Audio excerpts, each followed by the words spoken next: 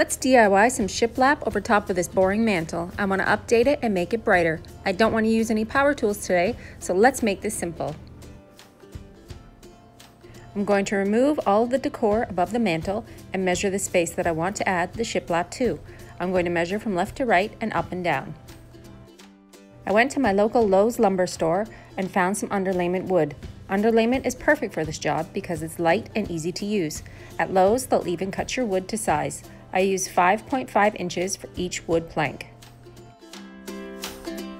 I also picked up some Velcro command strips.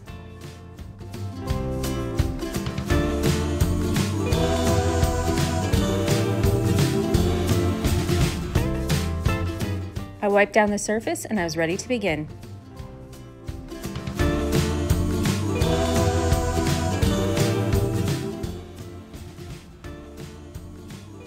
I did one even coat of Kilz primer. This prevents any bleed through when I paint my pure white onto the planks.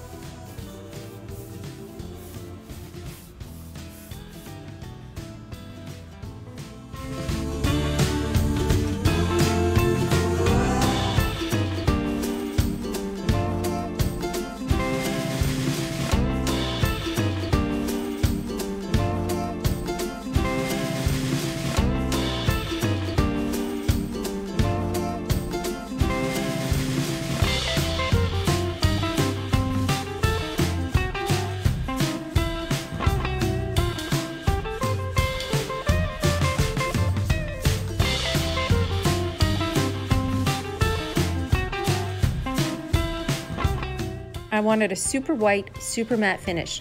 I used some leftover ceiling paint to paint the planks.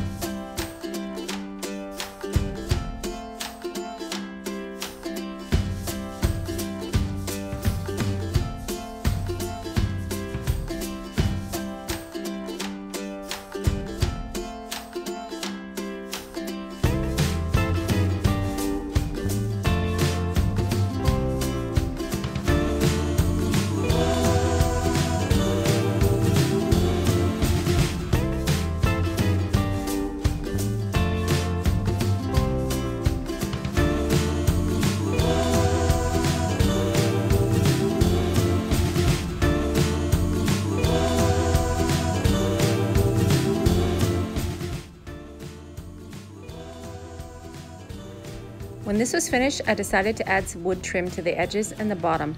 At this point, I'm completely happy with how it looks. Super bright, super fresh, and easily removable. I didn't have to use a drill, a saw, or anything.